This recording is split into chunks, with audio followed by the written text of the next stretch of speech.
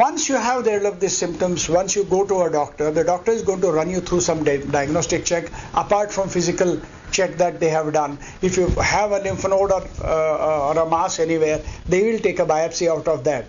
But otherwise, a routine chest X-ray will show if there is a lesion in the in the lung.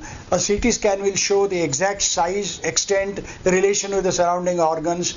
Uh, a PET CT scan will actually show if at all it has spread elsewhere, and the bronchoscopy will confirm the presence of a lesion from where you can actually take a biopsy the biopsy, without a biopsy, we can't really treat a malignancy of any kind.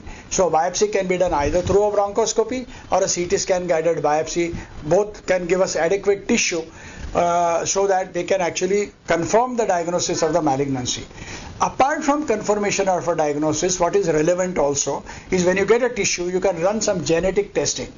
Uh, for example, if it's an advanced kind of a tumor, uh, where it has already spread to the liver, to the lung, etc., then you can run some genetic testing, the mutation testing, where you can identify if at all there are any targets to uh, the cancer cells which we can use in treating by tablets or injections which is called uh, targeted therapy and then uh, very easily we can prolong the life of a person you may have a disease but you can live for many many years. There was a time when 30 40 years back when we when i started my career for a stage 4 malignancy the average survival used to be about 5 months. And we used to tell the person to go home and get lucky spend time with your family we used to say.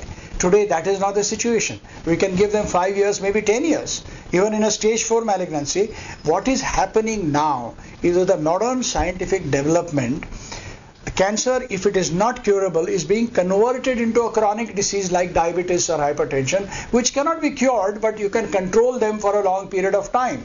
So even if there is an animal in your in your hall in your in a living room the animal is going to be put into a corner as a quiet kind of a dog sleeping so you have your disease you have an evidence of a disease but it is not likely to kill you but for that you need to reach your doctor you need to get investigated and the, the disease has to have a target therapy itself certain investigations give us immense information in, in treating. MRI of a spine, if it is required, will show how far the disease has locally progressed and what are the areas that what we need to excise. PET CT scan will show if at all there is a spread beyond the normal possibility and if the stage actually has really changed.